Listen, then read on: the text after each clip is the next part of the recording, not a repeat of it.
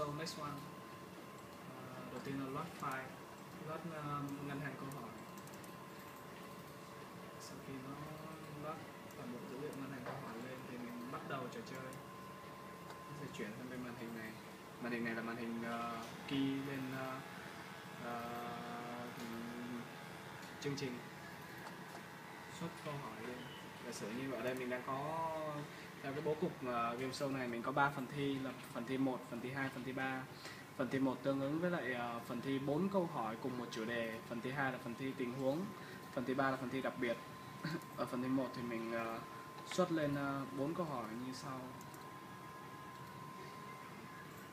Xuất câu hỏi lên. Câu trả lời. Chọn câu trả lời.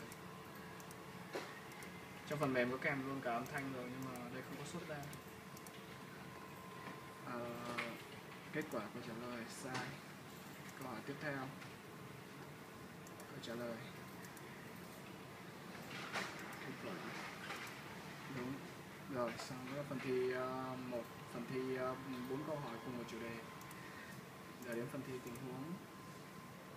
Phần thi tình huống thì là phần thi dành cho những uh, bên biên tập chương trình uh, đưa ra một tình huống bất kỳ ví dụ như ở đây là có một nhóm nhạc à, biểu diễn một bài hát nào đó rồi phần mềm sẽ xuất ra lên ờ, phần mềm sẽ xuất lên ờ, màn hình câu hỏi là bài hát tên gì của nhóm nhạc nào.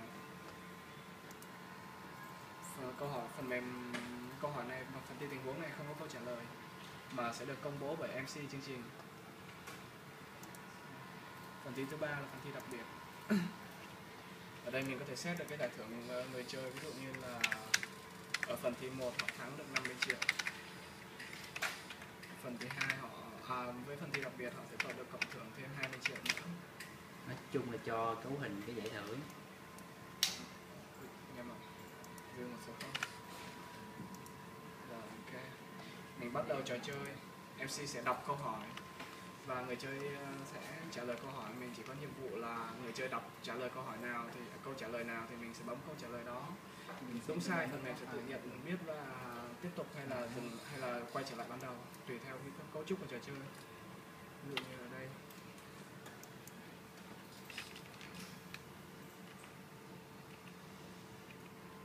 Sai, nó sẽ về lại ban đầu.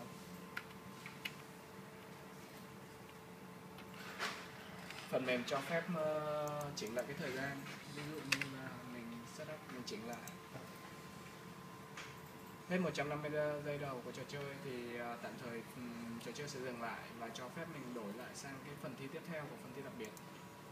Đó là số tiền thưởng ở phần thi 1, 2, phần thi à, 4 câu hỏi, phần thi uh, phần thi tình huống sẽ bị uh, mất và thay vào đó là 20 triệu của phần thi đặc biệt.